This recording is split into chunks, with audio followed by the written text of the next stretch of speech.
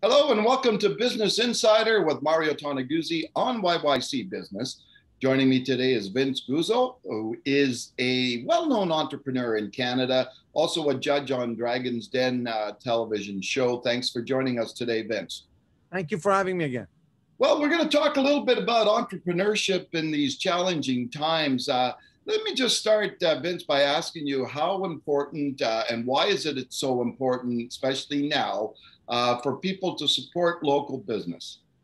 Well, you know, I think it's important that we all realize that at the end of the day, you know, charity starts at home and, and, and local businesses are our home, right? So yeah. Uh, the first people to give to our community are our local entrepreneurs, uh, to our hockey teams, to our Pee Wee teams, you know, to whatever uh, the society. And then you have to remember the local businesses are closer to the, you know, to the heartbeat of a community, right? So when something happens, they're the first ones on the ground, they're the first ones who actually have a direct connection with the community per se versus a you know a Walmart or a you know Costco. Yeah, well, you know the the CFIB uh, just the other day had a survey showing that that uh, uh, more people were were shopping at the big box stores, right, uh, than uh, supporting local. Um, do you think that message is uh, is not ringing true with with Canadians right now? Um, and if so, why? So I think the real problem is always the same, right? It's a question sometimes of convenience.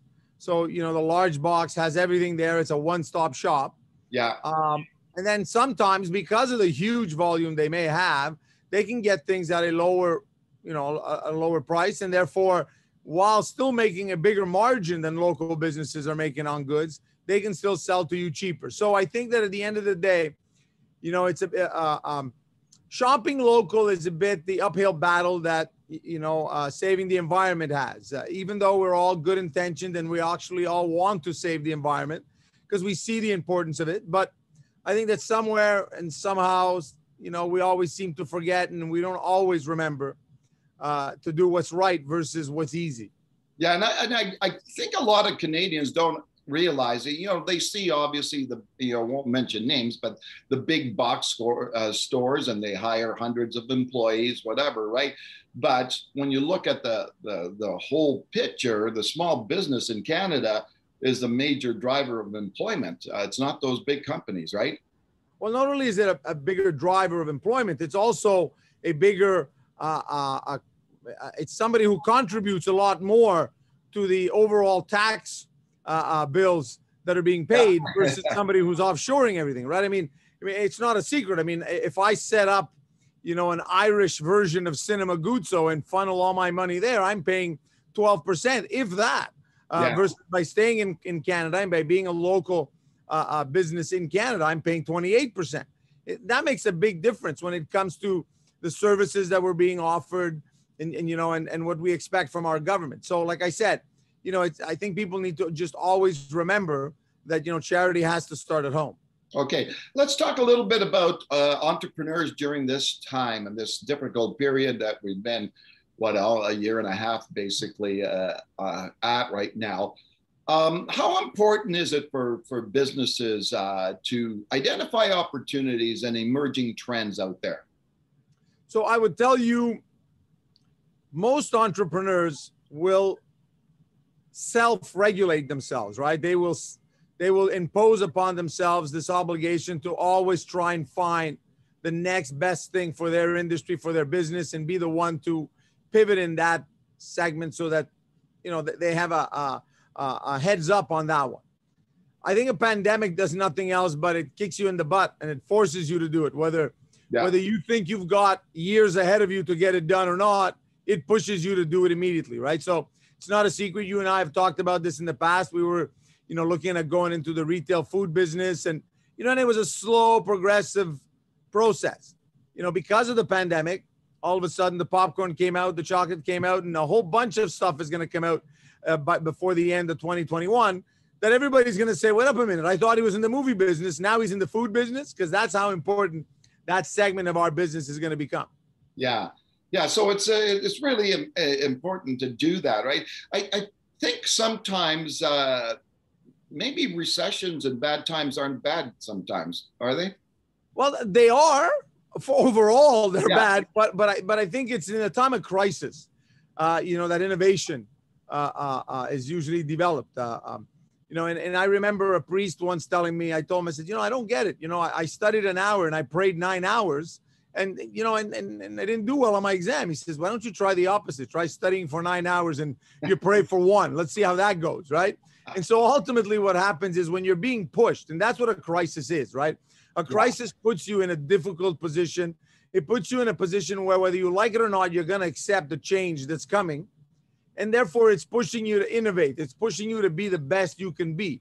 Uh, you know, pandemics are like competition you know, it's like going to the Olympics, right? I mean, once you're there, why does one win versus another? Why is one more resilient versus another? Why does one not crack under pressure versus another?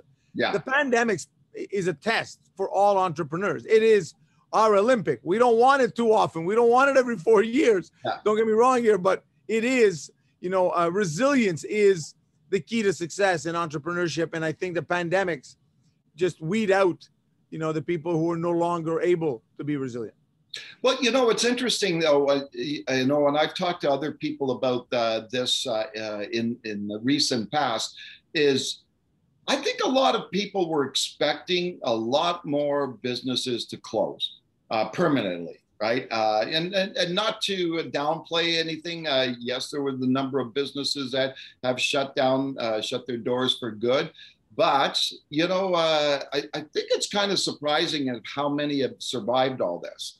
Do, uh, do you agree with that? Yes and no, and I'll tell you what I mean by that. In the middle of a pandemic, everybody is more lenient. Everybody is more tolerant. So banks were more accepting and more open to delaying, you know, payments and foregoing uh, uh, uh various fees, etc. The government came in and helped some industries in some ways or some other.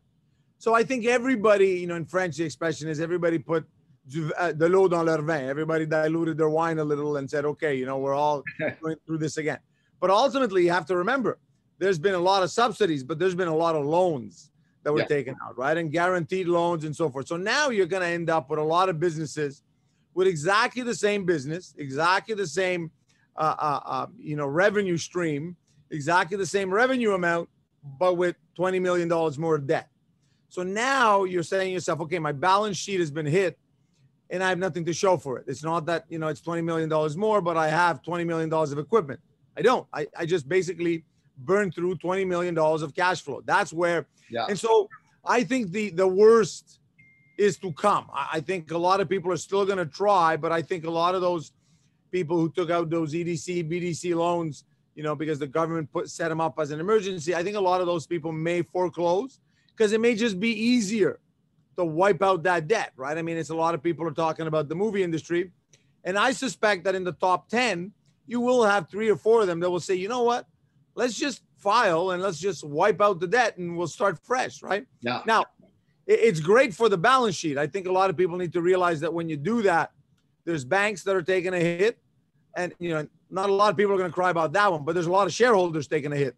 And yeah. that's now, you know, uh, uh, um, you know, mom and pops all over the all over the country. Yeah. Do you think you know everything seems to be pointing in the right direction right now everywhere? Uh, you know, restrictions being you know eased uh, a lot, uh, or or or here like here in Alberta done. Uh, you know, or basically done with the restrictions as of yesterday. Vaccinations up, etc. Uh, so everything's moving in the right direction. However, if things should go astray, uh, uh, do you think, from a business perspective, this country can afford another wave, another lockdown? You know, I'm going to tell you like this. I'm just hoping that the politicians we elected the last election, who I believe mismanaged the pandemic in, in multiple ways, um, I'm just hoping they learned from the last 14 months and I'm hoping they're going to face wave number three or four, depending of what part of the country yeah. we're in, uh, a different way.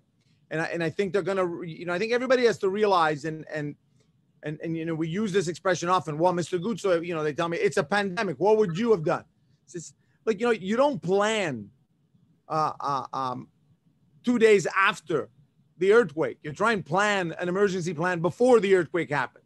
Which means what? Which means if a lot of people really sit down and reflect the only reason why we had to shut down businesses is because our Medicare system or, or healthcare system mm-hmm. did not and was not adequately uh, uh, supported for the last 30, 40 years, maybe, Mhm. to handle the influx of people, right? And and for some reason, you know, we we didn't check, you know, the uh, uh, the expiration date on some of the medications, some of the equipments we had, and all of a sudden we ended up, oh my God, nothing's good here. We got to re. So that kind of amateur uh, attitudes got to change. I, I think at the next elections uh, at every level, municipal, provincial, and federal, I, I- you know, I would invite Canadians to vote for the person that they want to see run the country in a in a time of crisis, and not during a vacation. Because the truth of the matter is, you never know when the crisis is going to come, and you want, you know, you want a war general during the war.